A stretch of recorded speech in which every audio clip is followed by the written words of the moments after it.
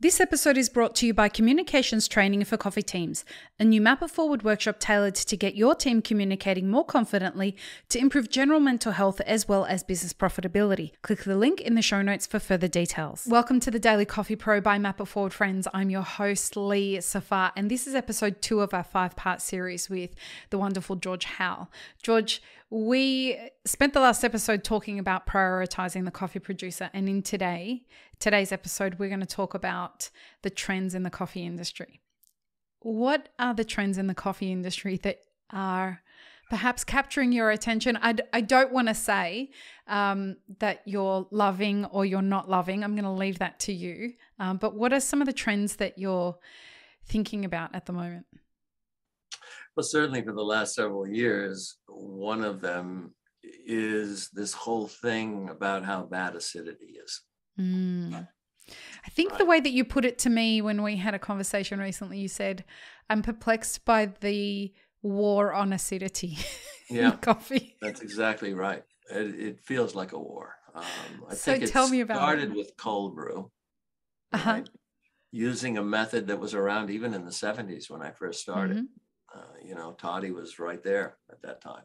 Mm-hmm. Um, we were sell we did sell the coffee maker, uh, the cold mm-hmm. brew machine, but I didn't take it seriously, and nobody at that time did. To my mind, it was just amazingly dull coffee, and being sold for health reasons, uh, low acidity and such, mm-hmm. which for some people may have real value, right? Mm-hmm. no doubt about it.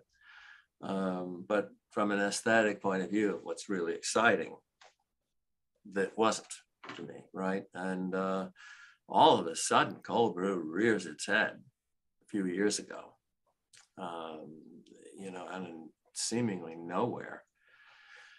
Uh, and it's all about the the lower acidity that the coffee has and how sweet and and easy it is to drink and and so on and um, my own theory goes, whether it's right or wrong, uh, my, my theory goes that back in those days, just a few years ago, it was almost impossible to make a genuine iced coffee and do it properly. mm. I remember I was living in in America at the time, and I was perplexed by how bad all the cold brew was. Well, yeah, but I'm talking about iced coffee. Iced coffee. Iced coffee was difficult, very mm-hmm. difficult to make because if you made a really great cup of black coffee, you put ice cubes in it, mm-hmm. it now became too diluted. Mm-hmm. So you didn't get the flavor. So you had to make a really strong cup of coffee. Mm-hmm. And that required less water and more coffee. And so now you under extracted mm-hmm. the coffee. So you couldn't really get the balance and it became expensive, difficult, and not very successful for the most part. Uh, so, hey, now let's make some money easy uh, and let's do cold brew. No problem. you're making an extract, you're doing cold water, you simplify it right down to bare bones. You've got your cold brew, and uh, and yeah, and it's lower acidity on top of that. So now you push the whole lower acidity fact, you can make it pretty strong because you, are starting with an extract to begin with. It's sitting in there 12 hours or more, 24 hours, etc. Um, and and of course, some of those machines are gorgeous. They're the most beautiful coffee makers right. you've ever seen in your life. More toys, right? Chemistry set. Wow. right. So all of that plays into this. And a blue bottle, really, when you went to the original blue bottle, you saw mm-hmm. this amazing Chinese or certainly Asian st- structures that were mm-hmm. beautiful. Mm-hmm. Um, but uh, so that's taken off. Um, but this whole battle on on acidity keeps coming and coming and coming, and um, it think- may also be partially involved with that back with Cup of Excellence and and and with um, lighter roast becoming a trend earlier mm-hmm. on in 2000, 2010, and so on, uh, many roasters were roasting too light. Right. Uh, and not enough body. Uh, it's very difficult to roast right. It is extremely difficult. Uh, you know, and you can have roasted for many, many years, change the machine, and it's a challenge to come back right uh, to getting it right. I don't, I don't see the science. I don't see it as a real science yet by any stretch. Right. Oh, we've got a very long way to go before roasting is a science. It's so much so, right? So you're dealing with a lot of kind of thin and vinegary drinks. Mm-hmm. On the one hand, um, you know, the the type of water you're drinking, the making the brew with really can count for something as oh, well. Yeah. Oh, so yeah. coffee that tastes good in one place may not taste so good in another. Um, all of this played into it too. Uh, so you take a coffee sometimes and made strong and too lightly roasted and go, you, that's too acidic. Yeah, I could do that too, right?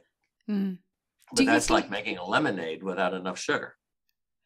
Well, and and that's where I wonder. At, at the time, I was living in San Diego and I was watching this whole boom of yeah of of cold brew, and I also at the time was launching Elixir specialty yes. coffee.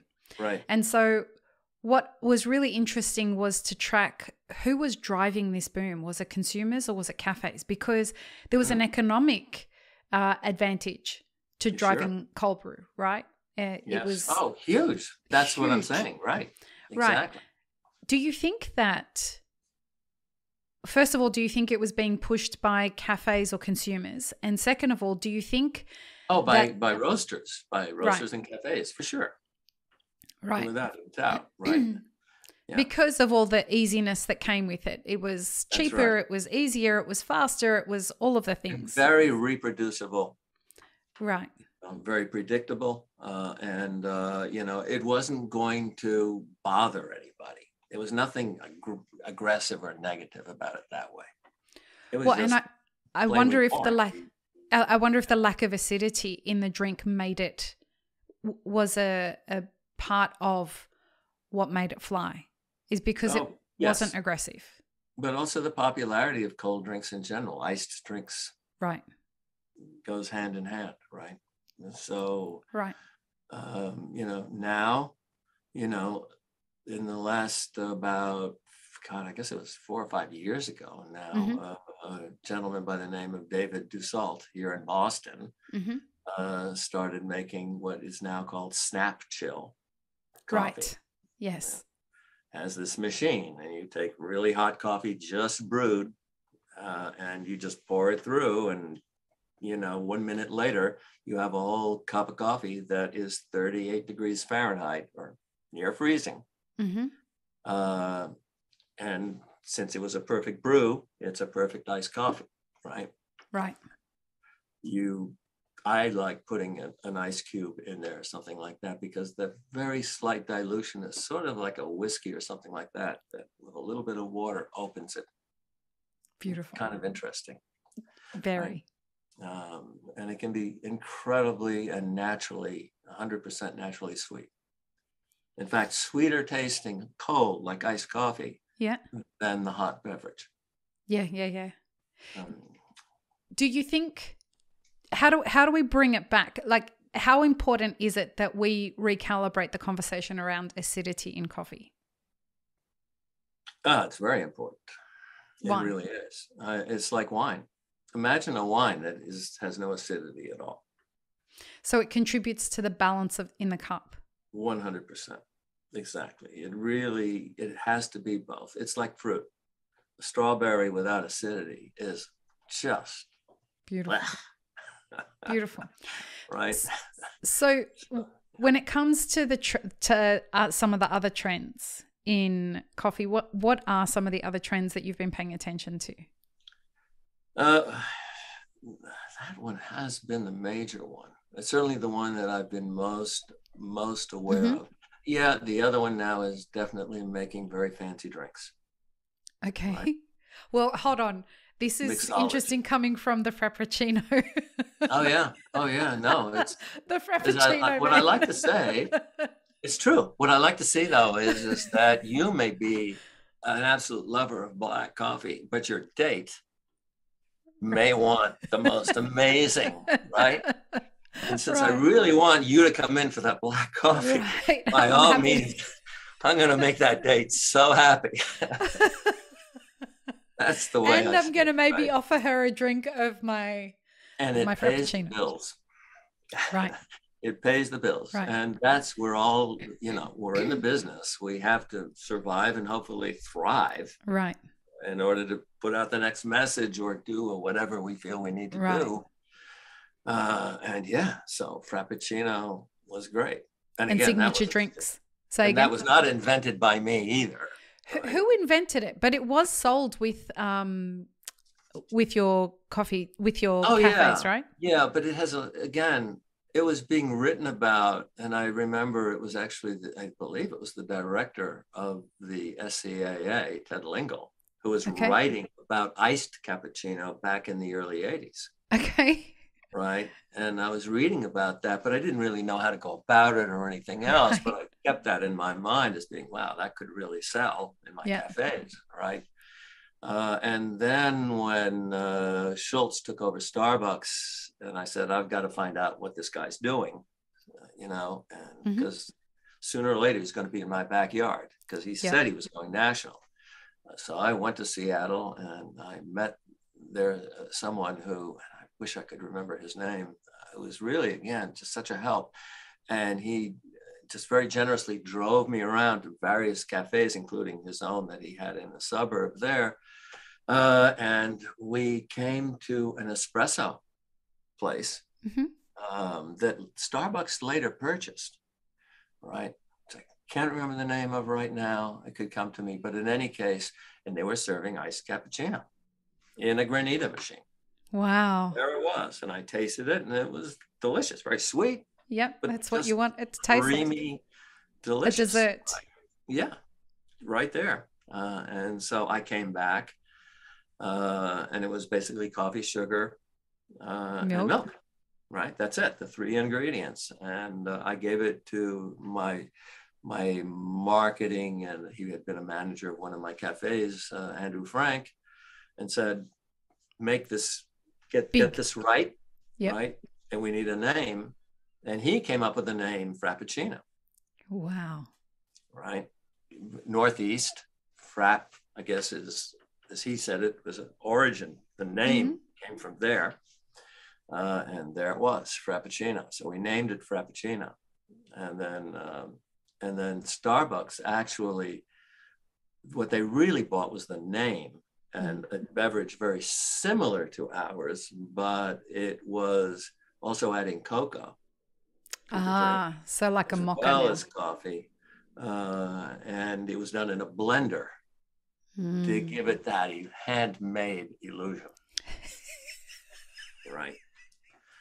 Uh, and, you, and, of course, that would be instrumental because now you can, I mean, look at the different kinds of Frappuccino they're mm. serving at Starbucks. It's it's a teenager's dream. Yeah, yeah. Right. Uh, Everything everybody's the buying them, and it's and the, the the rest is history because the whole brand ended up being built off it. Like right. Starbucks is built off that, and yeah. it can. This next yeah. generation continues to love that. So we are about to have the conversation I'm very, very excited about having in the next episode, folks.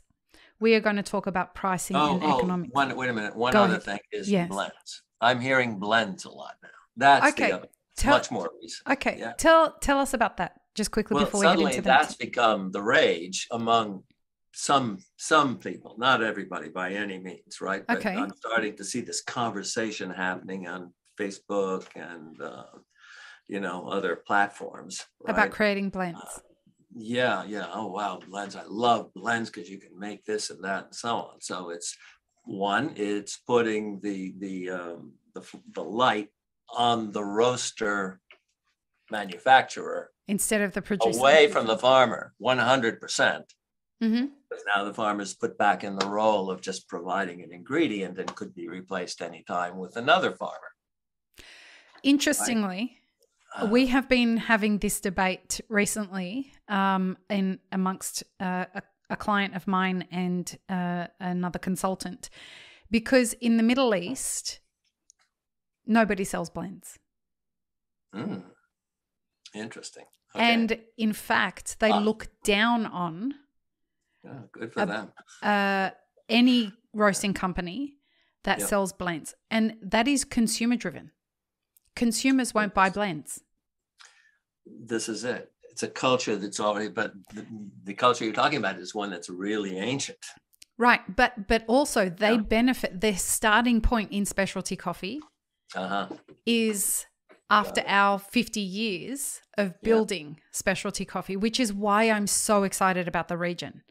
Because we, you know, when I started in coffee, there were natural and washed coffees.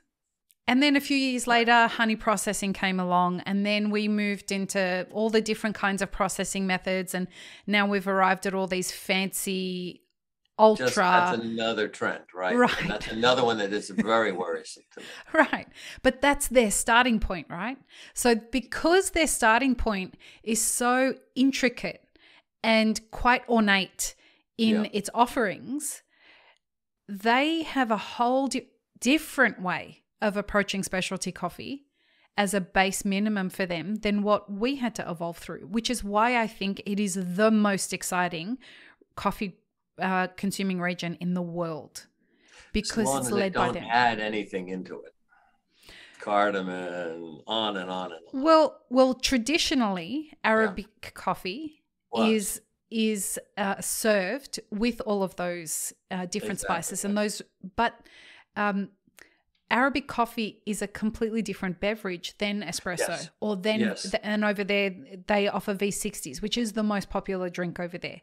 I It's had a- the privilege to Mhm. have several people from Saudi Arabia who were studying in Boston Beautiful, actually prepare the drink, which is completely transparent, yeah, it doesn't look like coffee, right? It's served out of a very different looking yeah, server as well. right, Yeah, and it was extraordinary. It's a Yeah. completely different world. Super light roast. Well, in Really Saudi Arabia, roasted. it is. But if you drink it from Yeah. where my family are from, Syria, it's actually quite a dark roast. It gets darker the further away you Further, go. correct, from- correct. And from so that, all right? of these things are very exciting. But in amongst that, Yeah. um, what you have is this incredibly fast evolving coffee consuming, specialty coffee consuming Yeah. um, kind of culture where the consumer are taking SCA courses so that they can understand exactly how to drink coffee. They they hold baristas accountable. Yeah. It's really just fantastically wild. So going back to the blends thing, we were speaking to some clients over there and saying how having blends would actually make it more affordable for you to enter the market. And I, I brought a consultant in from over there to talk to me about that. And he said, you have to kill the idea because blends will not work here. A roaster Interesting. will not. So, I mean, that's a little bit of hope for you. Very interesting. I had no idea. Yeah. Um, Yeah, yeah, yeah. That's cool. So, That's great. But you know, uh, this whole thing with blending uh, really starts when the price of coffee goes through the roof two years ago. Right. Brazil, right. not before. So it's it's it's the story of survival. Which we're about to see you- again, I think. With That's- the, that's with the the way the econ- economics is going, I think we're about to see some right. very interesting things happen. A lot of people in the business want to see the price of coffee being lower, and that's how you do it. I mean, coffee's cyclical. Uh, hold on, we're having the conversation we should be having in the next episode. so let's join us in the next episode, folks. We're going to talk about the pricing and economics of coffee. But it, it Hey- is the trend for blending. Right, it a That's- hundred percent. It. And the two, the two are connected. Right. Right. And then the final trend that I do want to bring up is what we've seen with Cup of Excellence and other um, and other uh, uh, competitions and auctions, right? Uh huh. Is this race towards manufacturing a drink from coffee? And Give me an example. further and further away from what it tastes like originally. Um, and like? you know, you start with a carbonic maceration, mm-hmm. and you're going towards kombucha-like flavors, mm-hmm.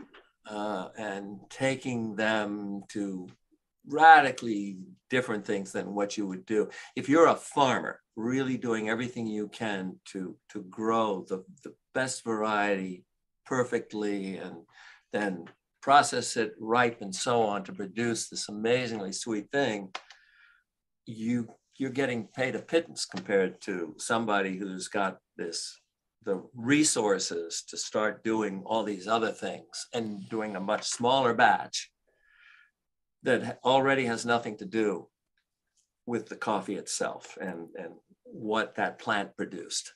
To a large degree, it's completely changed uh, from my point of view. And many people in the industry, many of them, including many who sell this stuff, uh, can drink it, but they all say, I can't drink it every day. No, or nor can you really drink a whole cup. It's not an everyday coffee. It's.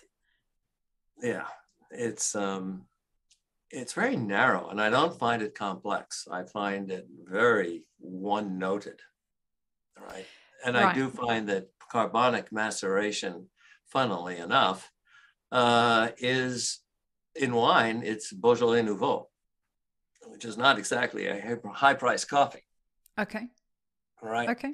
Um, you know, and it has, it's, it's celebrating how fresh that that wine is. It's absolutely brand mm-hmm. new, mm-hmm. you know, just produced, uh, and it has a kind of bubblegum note to it.